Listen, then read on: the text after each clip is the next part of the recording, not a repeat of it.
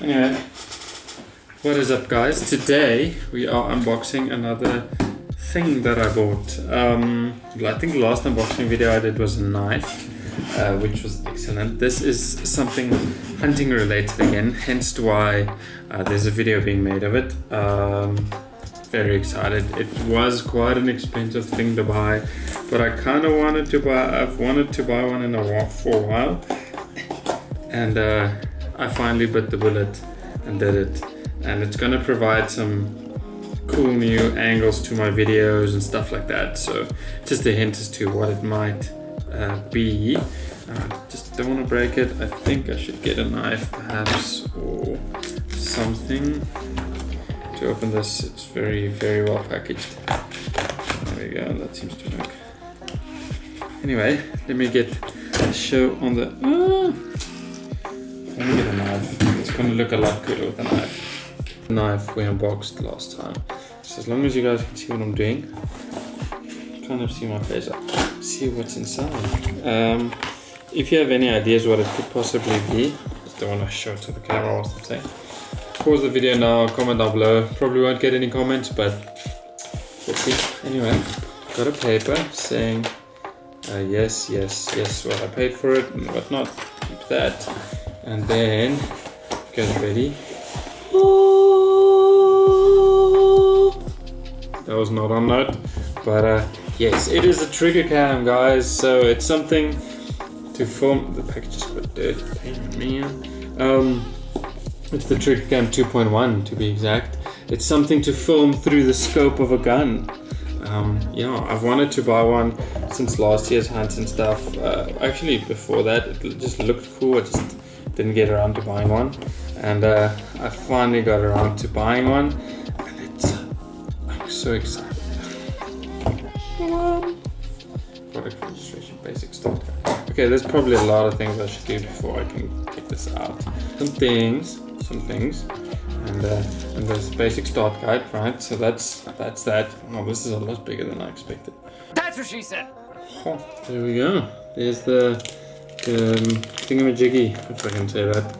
Uh, it fits over your scope through there, I think I think that's I'll have to read the guide. It fits over your scope and then it forms through it, and uh, you can get some epic, epic shots. These are the fitment caps that you put inside for the different scope sizes, and uh, and uh, yeah, I'll see how they all work. I'll first have to start reading the guide, but um, here's a little close up. Let me swap you guys around.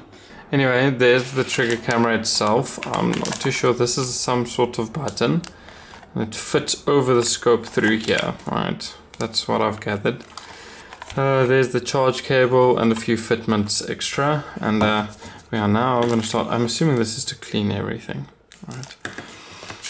I'm going to go start quickly reading the basic guide and see how it is set up. Eh, eh, there. Ah! There's a what we're going to expect. But yeah, well, uh, once I get the setup on the crossbow, I'll definitely show you guys what I'm seeing and filming through it because uh, it's something I can do now. And uh, I'm probably going to be using it on the hunts for the season already because I'm going to take the guns with my dad's 306 my 300 and uh, hopefully we shoot something with it on filming. Obviously, I can't shoot anything with it itself. The gun has to shoot. Yeah, let's get this going. I'll uh, tell you guys once I've finished reading everything what I found and then uh, we'll take it out for a bit of a test. Okay guys, so quick intermission before we go over. I never used it on the scope. Uh, I tried to fit it uh, on the crossbow scope. I tried to fit it, the crossbow scope's too small, which I kind of thought was going to be the case. Um, I wanted to use it on the hunt with my 300 Win Mag, but um, the gun I have, the 300 mag, scope is too low, so I can't open the. I'm filming with my right hand, but I'm I shoot right-handed. Uh, I can't open the the uh, chamber without um, bumping the camera, so it doesn't want to open with the camera on, which is no fault of the camera. It's the scope is mounted a bit too low on my gun, and uh, you can see it because the the um, the arm of uh, of the chamber. I don't know what the English words are, maar die slotarm in Afrikaans.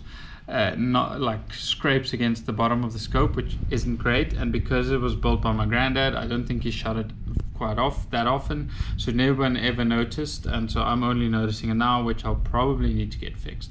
Um, because it's going to just damage my scope. It's going to damage my uh, the the arm, and uh, it's like creating place for us to sit when it's in the in the gun safe. So um, things I still need to do.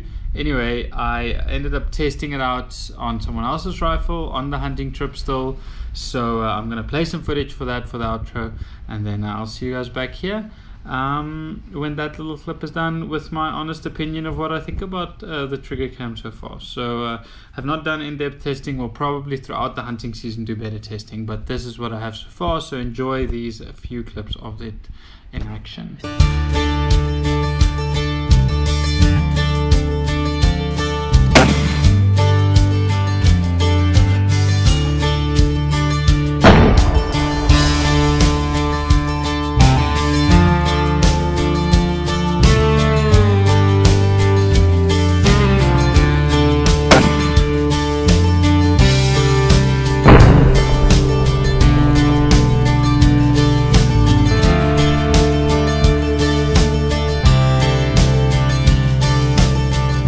Guys so there we go. You guys have seen it.